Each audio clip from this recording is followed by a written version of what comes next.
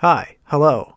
Welcome back to Ultra Retrospective. If this is your first time here, the purpose of this little opinionated show of mine is to go back and revisit shows from the Ultraman franchise to see if they hold up or not. I've been going through this entire franchise since 2018, so it's always a little difficult to remember individual entries, so I want to preserve my thoughts on them in video format. Today's show stands out, however. A little history. The previous show, Ultraman Nexus, wasn't received terribly well on release. It was made for an older audience, and due to a variety of factors involving toy sales and viewership, it ended a whole story arc early.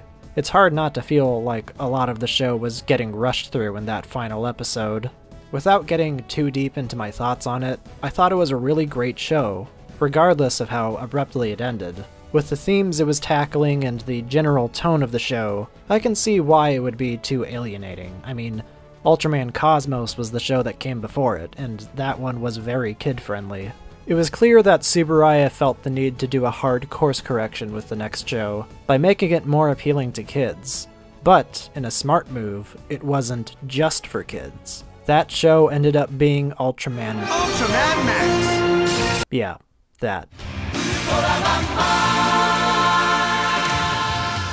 Like other shows made during Ultraman's Heisei era, Max is a standalone series, not taking place in any prior timeline. The show's attack team, Dash, was created in response to the appearance of giant monsters over the years. Nearly perishing after commandeering one of Dash's aircraft, it's a long story, social worker Kaito Toma is saved by Ultraman Max, and the two agree to unite against the kaiju and aliens threatening the planet. Kaito also joins Dash in the process, though he keeps his ability to turn into Ultraman a secret, as per usual. It's a familiar premise and a return to the strict Monster of the Week structure that Nexus had somewhat strayed from, but it's a welcome return because it's so well done here. Max does have the odd two-parter every once in a while, but for the most part it's back to business with the standalone episodes.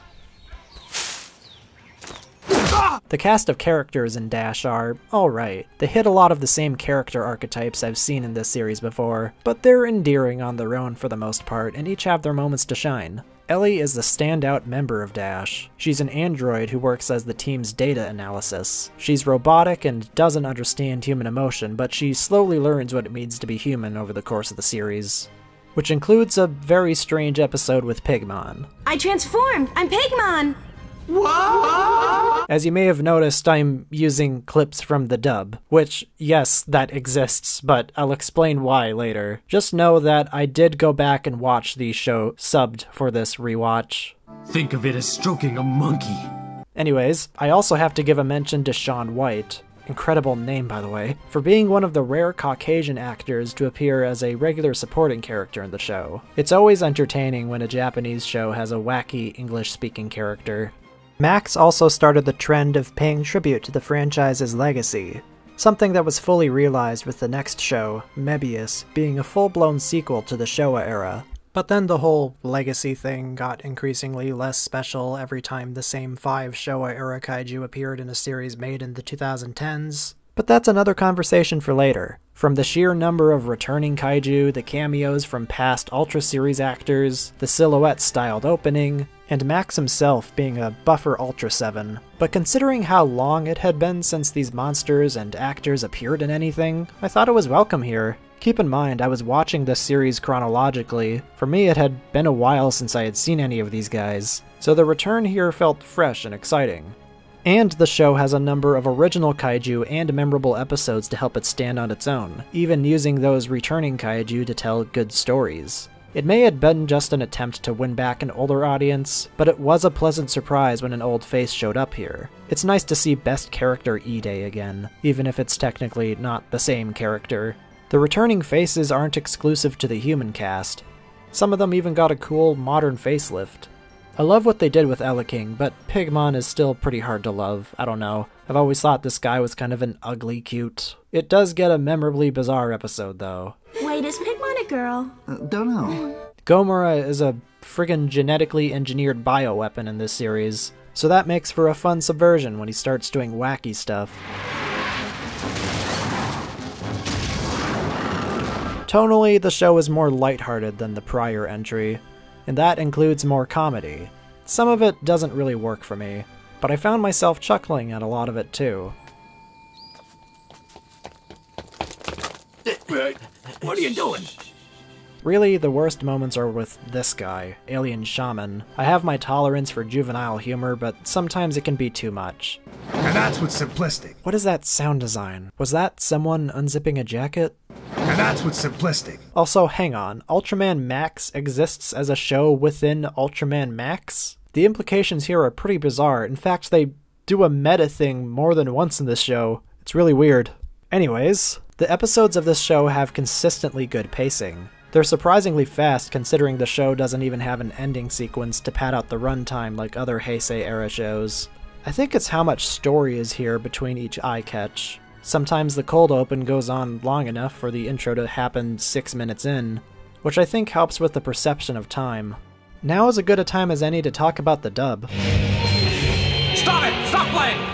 Get out of the way, old man. See, when I originally watched this show, it was on the Toku streaming service. Rest in peace, Bozo. And the only version of the show they had was the dub. At first, I thought this was going to be a detriment, and it was at points considering how seriously some episodes intended to be taken, but I was surprised by how much I liked it. I'm afraid I have no interest in useless old fossils.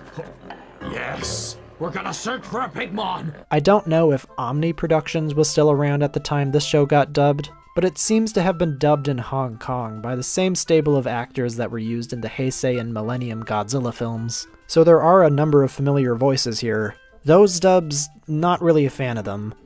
Why do you need to be fit when you're gonna make Godzilla disappear up his own butthole, huh? They really distract from the intended tone of those films. And Sony uses them as the basis for their crappy dub titles, so you can't even escape the changed dialogue in the original language. And while this Ultraman Max dub can be just as stilted, I get the sense that the voice actors were actually having fun here. It oddly kinda works. That's a Pigmon! I'm sure of it! Sometimes I get a fan dubbers trying not to wake up their parents vibe from these deliveries.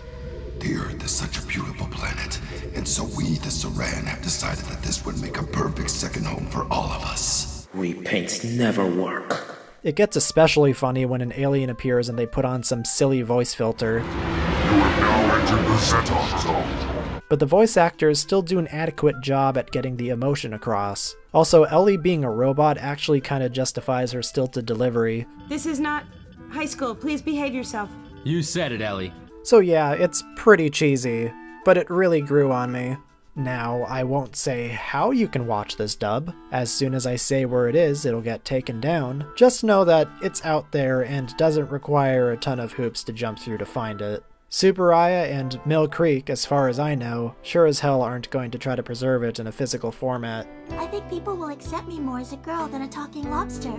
On the subject of audio, Ultraman Max's soundtrack is serviceable. It's not a bad musical score, but outside of the opening theme and all the leitmotifs that come from that, nothing really stands out here. It's all kind of generic. I feel the need to bring this up because Nexus had a fantastic soundtrack, so if there's any element that doesn't quite live up to the prior show, it's that. There's a point where it straight up uses stock music. The track that plays when Max is fighting Zetton and King Joe is named Red Rum, and it's been used in a number of movie trailers. Universal Pictures presents Brendan Fraser, Rachel Weisz, John Hannah. Since I'm already talking about the Zetton episode, now is as good a time as any to say that Ultraman Zenon is the most superfluous Ultra in the entire franchise. At least as far as appearances in mainline shows go. He appears in like two episodes with no build up to his arrival, outside of being name dropped in the title cards after the opening. He gives Max a little trinket like the Ultra Bracelet, which helps him beat Zetton. Then he fucks off for the rest of the series until the very end. They were doing a Zoffy thing with him being the commander or superior character, but unlike Zoffy, Zenon hasn't really appeared in much afterwards. He left no lasting impression. Visually, he also kinda looks like a prototype for Mebius, so that only further pushes him into obscurity. Out of all the Ultra shows I've seen, I think Max might have the highest concentration of memorable episodes. A lot of these are bangers, and they would usually bring on someone notable to direct them. Shusuke Kaneko, the director behind GMK and the Gamera trilogy, directed a handful of episodes here, and one of his episodes starts like this. Godzilla is so strong! mayor is strong too! So yeah, that's pretty good. Even Steven Seagal's daughter appears in a supporting role, which is still such a weird factoid. Max also has the very rare Ultraman Christmas episode, and it ends on a heartwarming note. I know Japan doesn't celebrate Christmas the same way the West does, but as a Westerner, it's nice when they do an episode like this. The last time there was a Christmas episode was way back in Ultraman Taro, which wasn't necessarily a bad episode, but it featured a kaiju named Alien Terrorist, and his evil plan was to steal the Earth's oil. So, yeah, it's nice that the most recent Christmas special wasn't that. There's also an episode that pays tribute to Ultra Q with a kaiju that looks Baragon esque.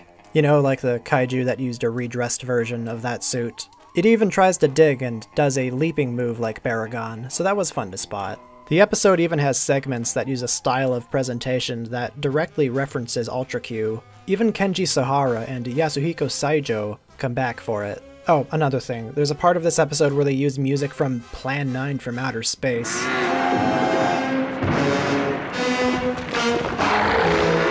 It's surreal but kinda fitting, considering it's a throwback to that era of science fiction. I know I'm not really reviewing the episode and I'm just pointing out things I recognized, but as someone who has been watching this series for the past four years, I enjoyed all the Easter eggs and callbacks. It's a pretty good episode. Of course, not every episode is a winner, but I don't think there are any I would call bad. Just some of them are kind of whatever. The Baltan two parter could have just been one episode. It kind of felt like it was tepidly moving along from one plot beat to the next. I do think it's cool how this episode and the Cosmos movie tried to redeem Baltan by the end. It's like the writers were apologizing for that first Baltan episode where Ultraman basically committed genocide against an entire race while they were sleeping. As a matter of fact, it was written and directed by the same two guys who did the original Baltan episode. Giving closure to this race by not painting them all as evil is nice. And as far as I remember, this is closure. Baltan hasn't been given a spotlight episode since Max. It's heartwarming with that in mind, but the two-parter is still kind of whatever. Shazam! The late Akio Jisoji made his final contributions to the franchise here, and they're certainly Jisoji episodes. I'm confused. Some of his most memorable, even. The first one, Butterfly Dream, is a unique meta episode about the writer of an Ultraman Max episode switching places with Kaito, and the two have to work together to defeat the monster of the week. A characterless round blob the writer himself dreamt up. It's got the Jisoji trademark of having stage play elements with the spotlights and all the butterflies on poles flying around. It's effectively eerie, largely in part due to its cinematography, jarring juxtaposition of imagery with cuts, spooky lighting, and sound design. Very surreal and creepy episode. I liked it a lot. His second episode, The Untargeted Town, is a spiritual sequel to his Metron episode from Ultra 7. In it, a world-weary alien Metron plans to depart to space, but not before playing one last trick on humanity by exploiting its weakness to technology. It's hard to not just interpret the episode's message as phone bad, like it's saying that phones are the next tobacco addiction. You can't get more blunt than ear-blasting monkey MP3 jump scares.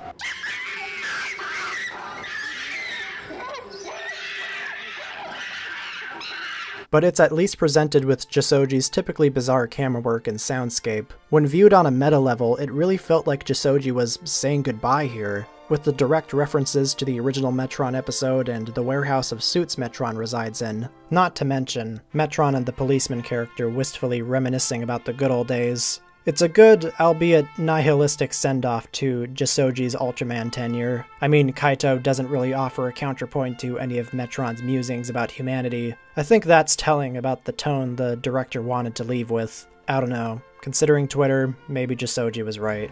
He just gave up on this planet. And flew home without a fuss. Even Takashi Miike directed a couple episodes. Yes, that Takashi Miike, and I want to put a spotlight on one of them Miracle of the Third Planet. It's about the discovery of a giant white marshmallow kaiju named If. Dash makes the preemptive move, and that's where If's ability is revealed. If it's attacked, it changes its appearance, and it copies the attacker's moves, including Ultraman Max's. If is virtually indestructible. At the same time, a blind little girl's concert is cancelled because of If's rampage. This episode is genuinely moving. When I first saw it, I was kinda blown away. The apocalyptic and occasionally beautiful visuals are striking. The little girl's performance is heartbreaking. In the original language, of course. And the message the episode ends on is touching. On all levels of execution, this is one of my favorite Ultraman episodes, potentially my all time favorite. The other episode Miike directed is good too, it's probably more well known because of how silly it is, but the one that came before it was more impactful, I think. Max is a show that strikes a balance of new and old without feeling stale, paying tribute to the Showa era by bringing back old faces on both the cast and creative side of production, and homaging old storylines while bringing in guest talent with their own ideas. It doesn't consistently hit greatness. The comedy is hit or miss, some characters I straight up don't like, and the soundtrack could have been better, but a lot of my grievances are very minor in the overall scope of the show. It can be sincere, it can be cheesy, it can be goofy, it's everything I love about Ultraman in one show. There's a reason why I finished this show in like five days on my first watch through. I loved it that much. I don't know if it's because it's sandwiched between two other really great shows, but I think Max is unfairly overlooked. I know, very humble to use myself as a source, but the out of context video I did on it has way less views than the Mebius one. Not only that, but Max as a character rarely gets acknowledged outside of his own show.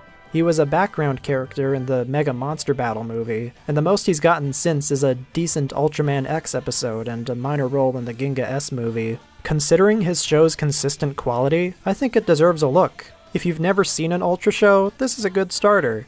And if you're only familiar with the modern stuff, then this is a good mid Heisei era series to start with. Its episodes are well paced, it's got fun fight scenes, a decent cast, a good lineup of returning and new monsters, several noteworthy episodes, and it's one of the shorter entries in the franchise. Only 39 episodes. Check it out. It's one of my favorites.